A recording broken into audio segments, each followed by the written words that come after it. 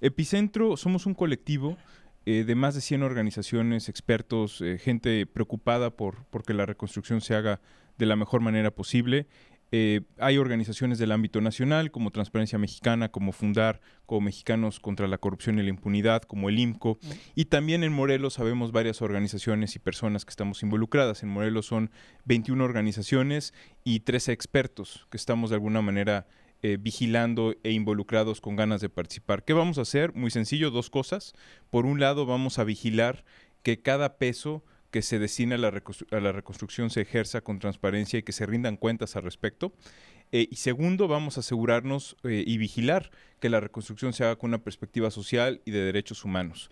Sobre el primer punto, la parte del dinero que se ejerza correctamente, la idea aquí es identificar todas las posibles fuentes de dinero para la reconstrucción, desde un fideicomiso privado hasta los fondos del, Fondo de Aportaciones a la Infraestructura Social, el famoso FAIS, el FONDEN, etcétera.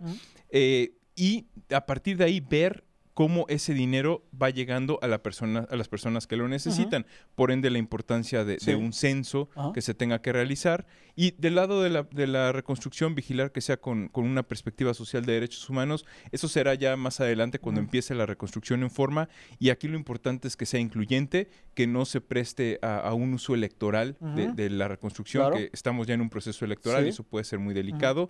Y sobre todo que sea una oportunidad para que la sociedad morelense se reconstruya a sí misma también. Tenemos que convertir esta crisis en una oportunidad.